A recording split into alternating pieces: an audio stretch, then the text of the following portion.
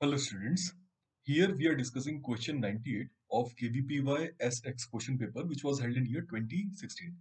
So देखते हैं इस क्वेश्चन में क्या बोला जा रहा है If the input voltage VI to the circuit given below uh, below is given by VI equal to A cos 2 pi f into t ठीक है मैं इसे 2 pi f को ओमेगा अज्यूम कर रहा हूँ alright so that के थोड़ा सा हमें कन्वीनियंस हो जाए आगे and the output voltage is given by this equation right b cos of 2 pi f t plus phi right?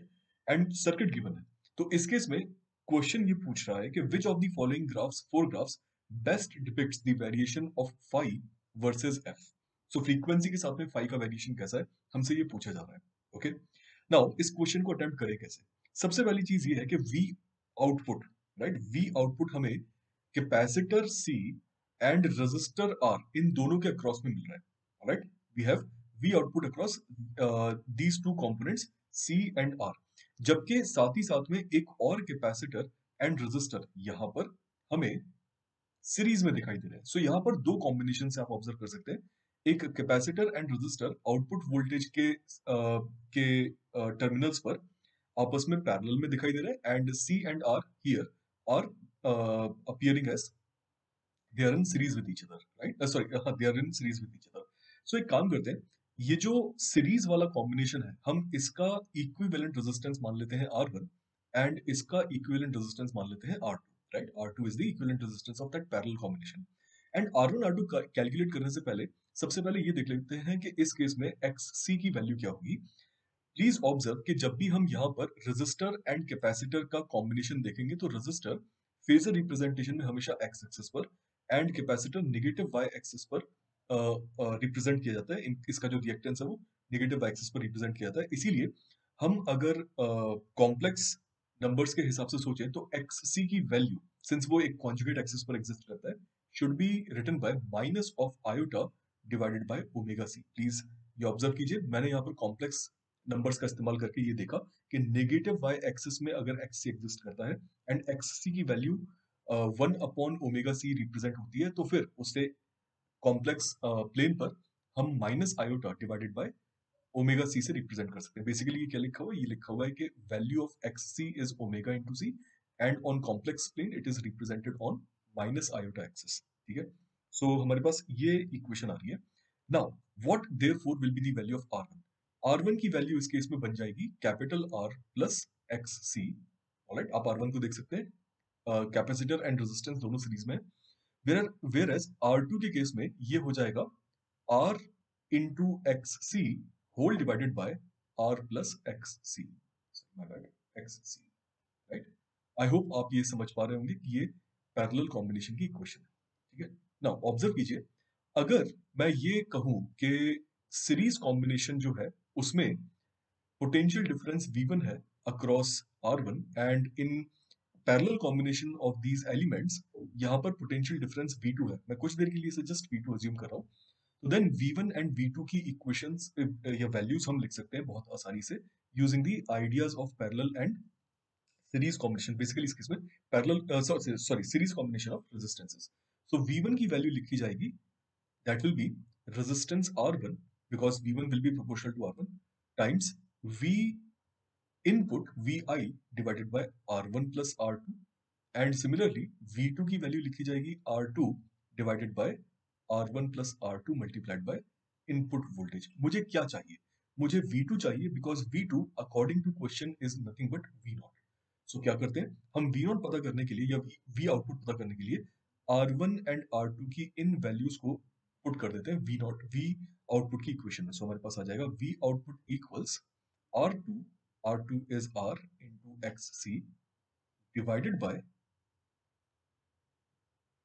divided by R plus XC right whole divided by R1 plus R2 R1 की value थी R plus XC and R2 की value थी XC divided by R plus XC sorry whole multiplied by V I and अब इससे आगे जाने से पहले एक और लास्ट पॉइंट जो हमें डिस्कस करना है वो ये है कि यहाँ पर एक्स सी स्क्वायर की वैल्यू एक बार देख लेते हैं क्या होगी। X C square I think आप सभी समझ पाएँगे will be equal to iota square divided by omega square C square and iota square is minus one so we will get minus one upon omega square C square as the value of X C square ठीक है? ये X C square अभी appear होने लगेगा हमारी equation के अंदर।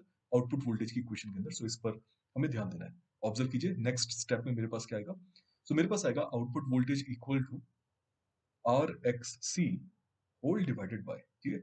यहाँ पर मैंने सबसे पहले एलसीएम लिया तो मुझे मिलेगा आर प्लस एक्स सी का square plus R X C whole divided by R X C R plus X C and multiplied by ये जो न्यूमरेटर में आर प्लस एक्स सी था, वो डिनोमिनेटर में आ जाएगा so multiplied by R plus X C and I hope आप observe कर सकते हैं, ये कैंसिल आउट हो गया।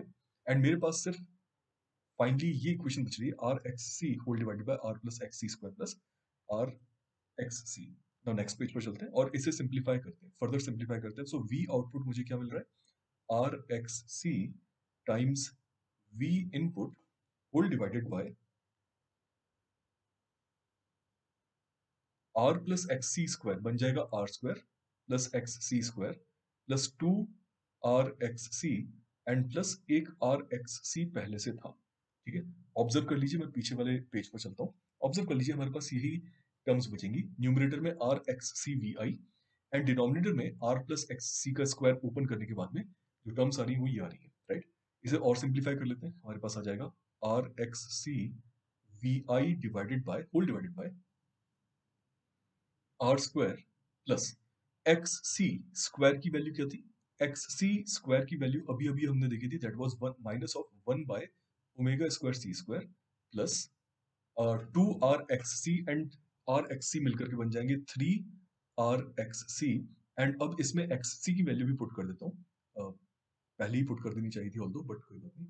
ये हो जाएगी minus iota upon omega C into V input whole divided by R square minus one over omega square C square minus three R by omega C iota ठीक है मैंने इसको इस तरह से लिख लिया नाउ अब नेक्स्ट पॉइंट क्या कर सकते हैं? नेक्स्ट टर्म में क्या कर सकते हैं? मैं इस इक्वेशन का uh, जो डिनोमिनेटर है उसे जरा देखो तो मेरे पास एक रियल टर्म आ रही है।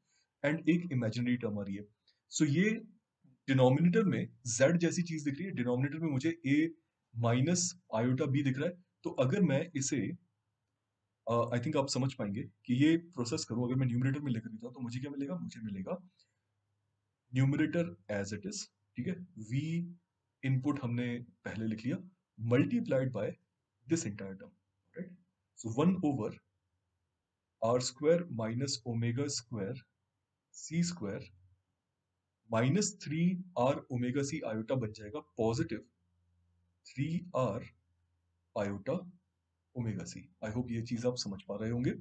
एंड अगर मैं वी आई बाहर रहने देता हूँ एंड अब आर बाकी ये जो R minus iota omega C इसे अंदर मल्टीप्लाई करता हूँ so what I will get I will get this equation I get R square minus one over omega square C square multiplied by multiplied by observe it minus of R upon omega C iota plus three R iota by omega C times minus R by omega C यहाँ पर भी सी है into iota ठीक है? इसे simplify कर लेते हैं और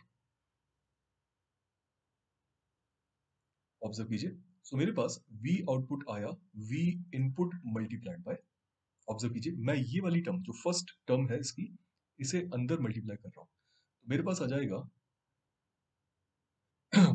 मेरे पास आ जाएगा R cube upon omega C plus sorry minus R by omega cube C cube right? With minus iota so ये मेरी पहली टर्म बनी प्लस जो रिमेनिंग टर्म है, वो रादर माइनस हो जाएगी minus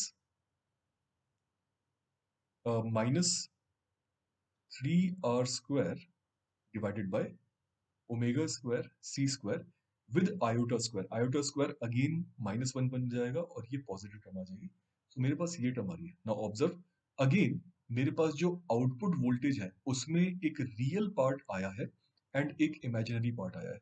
नाउ जैसे कि हम देख सकते हैं so what will be the value of tan phi tan phi की वैल्यू यहाँ पर होगी imaginary part divided by the real part alright so imaginary part is R cube by omega C minus R divided by omega cube c cube whole divided by real part which is 3r squared upon omega squared c squared and that too with this negative sign so ये वाला negative sign यहाँ पर आ जाएगा and finally आप इसे ऐसे भी कर सकते हैं minus of r cube by omega c plus of r upon omega cube c cube right? So इसे solve कर लेते हैं इसे simplify कर लेते कर, करने से हमें क्या मिलेगा? Get uh, else uh, इसमें हाँ सिंप्लीफाई कर लेते हैं इसे। सो so, सिंप्लीफाई करने के लिए मैं यहाँ पर सिंपली एलसीएम ओपन कर देता हूँ। सो so, मुझे मिल जाएगा R cube upon omega C right minus of R cube upon omega C divided by ये वाली क्वांटिटी डिनोमिनेटर वाली quantity that is three R square upon omega square C square so यहाँ पर बचेगा मेरे पास में वन ओवर सॉरी न्यूमरेटर में आ जाएगा। One over three in numerator we will get R omega into C and जो दूसरी टर्म है दैट इज़ न्यूमरेटर की जो पॉजिटिव वाली टर्म है उसमें अगर मैं डिवाइड करूँगा डिनोमिनेटर वाली टर्म को तो मुझे मिल जाएगा डिनोमिनेटर uh, में आर डिनोमिनेटर में ओमेगा एंड डिनोमिनेटर में C with three so we will get positive plus one over three R omega into C right इसे थोड़ा सा रीअरेंज कर लेते हैं and one by three common निकाल लेते हैं। तो मेरे पास मुझे देखेगा one over R omega C minus R omega C right and this is the value of tan phi so मुझे टेन फाइव का फ़ंक्शन मिल गया ओमेगा की टर्म्स में एंड ओमेगा फ्रीक्वेंसी के प्रोपोर्शनल होता है। सो so, जरा सोच के देखिए। अब मैं यहाँ पर लिमिट्स पुट करूँगा राइट सो लिमिट सबसे पहले ये है कि अगर मैं ओमेगा को ज़ीरो पुट करता हूँ यानी कि फ्रीक्वेंसी को ज़ीरो पुट करता हूँ तो क्या होगा? यहाँ पर जो माइनस के बाद वाली टर्म है न्यूमिनेटर में आर ओमेगा सी वो ज़ीरो हो गया, लेकिन माइनस साइन से पहले वाली टर्म पूरी की पूरी टर्म बन जाएगी टेंडिंग टू इन्फिनिटी सो इस केस में जो टेन फाइव है it will tend to infinity positive infinity to be precise right and therefore we can say the value of phi will be equal to positive pi by two right similarly अगर हम omega को tend करते हैं infinity यानी कि frequency को infinity तक लेकर के जाते हैं तो टेन फाइव के एक्सप्रेशन में जो पहली टर्म है that is one over R omega C वो बन जाएगी ज़ीरो लेकिन सेकंड टर्म जो है वो नेगेटिव इन्फिनिटी को अप्रोच करेगी एंड हेंस मैं कह सकता हूँ कि यहाँ पर टेन फाइव की वैल्यू अप्रोच करेगी माइनस इन्फिनिटी को, जिसका मतलब होगा कि फाइव की value minus pi by two को अप्रोच कर रही है राइट एंड लास्ट पॉइंट आप ऑब्ज़र्व कर सकते हैं कि अगर मुझे यहाँ टेन फाइव ज़ीरो करना है तो उसके लिए उसके लिए ओमेगा की value one over R C होनी चाहिए। अगर मैं ओमेगा की value one over R put करता हूँ तो फिर टेन फाइव की फ़र्स्ट टर्म भी वन हो जाएगी एंड टेन फाइव के अंदर जो दूसरी टर्म है नेगेटिव के बाद आर ओमेगा सी वो भी वन हो जाएगी and hence one minus one will become zero तो यहाँ पर टेन फाइव की वैल्यू बन जाएगी प्रिसाइसली ज़ीरो जिसका मतलब phi is also approaching zero observe कर सकते हैं। सो so, मेरे पास यहाँ पर तीन वैल्यूज़ है एंड इन तीन वैल्यूज़ के बेसिस पर मैं अब ग्राफ ड्रॉ करूँगा इस जगह पर। सो मैं यहाँ पर ग्राफ ड्रॉ करूँगा ओमेगा या फिर frequency sorry my bad Y axis पर हमें फाइव चाहिए according to question option omega या फ्रीक्वेंसी एक्स एक्सिस पर है एंड फाइव वाई एक्सिस पर है। सो ऑब्ज़र्व कीजिए, जब ओमेगा ज़ीरो है, तब फाइव की वैल्यू पाई बाई टू है omega equal to R by one by R C phi की वैल्यू ज़ीरो हो जाती है एंड जब ओमेगा की वैल्यू इन्फिनिटी को अप्रोच करती है तो फाइव की वैल्यू भी माइनस फाइव बाई टू को अप्रोच करती है। तो कुछ इस तरह का ग्राफ बन रहा है, आप ऑब्ज़र्व कर सकते हैं। ये कुछ इस तरह का ग्राफ बन रहा है एंड इस तरह का graph I think option C के साथ परफेक्टली मैच करता है and hence it is your answer so काफ़ी कैलकुलेटिव एंड काफ़ी लेंदी क्वेश्चन था बट हाँ ऑब्ज़र्व ये ऐसा क्वेश्चन था जिसे आप अटेम्प्ट कर सकते थे। And perfectly option C match करता है इस क्वेश्चन के अंदर। आई होप समझ में आया होगा। एंड अगर आप वेदांतिक क्लब के बारे में और ज़्यादा जानना चाहते हैं तो इसके बारे में आप गूगल पर सर्च कर सकते हैं। Best of